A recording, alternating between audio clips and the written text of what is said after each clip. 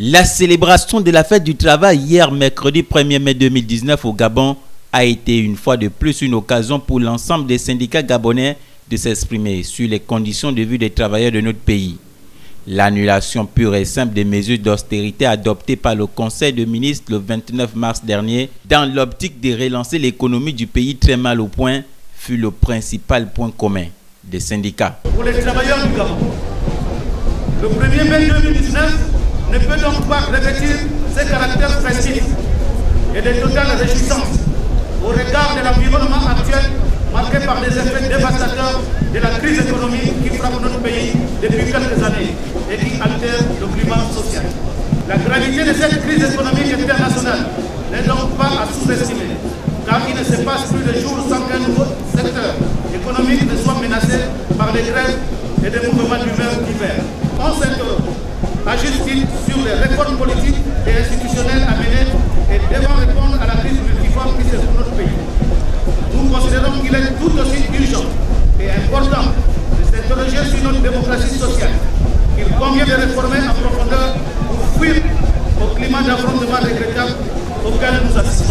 La Confédération syndicale dynamique unitaire demande au gouvernement de satisfaire les points suivants.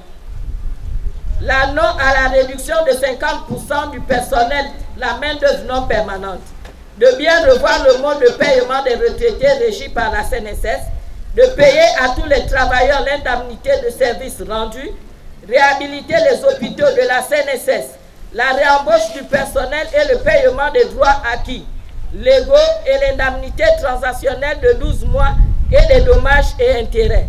En cas de non prise en compte, par le gouvernement des revendications de la Confédération syndicale dynamique unitaire, des actions légales seront entreprises sur le terrain.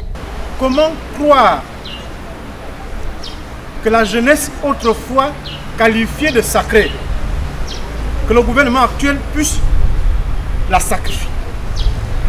La sacrifier en supprimant les bourses, en mettant des conditionnalités qui feraient en sorte que les enfants de prolétaires resteraient prolétaires, que les enfants de riches resteraient riches. Ces syndicats s'insurgent également contre le licenciement massif dans le secteur privé et la charte de la vie. Bref, un ensemble de difficultés qui menacent la paix sociale, économique et politique dans le pays. Le dialogue social est effectif dans un monde en pleine mutation. C'est sous ce thème central que le gouvernement a souhaité que les travailleurs gabonais commémorent cette fête du travail.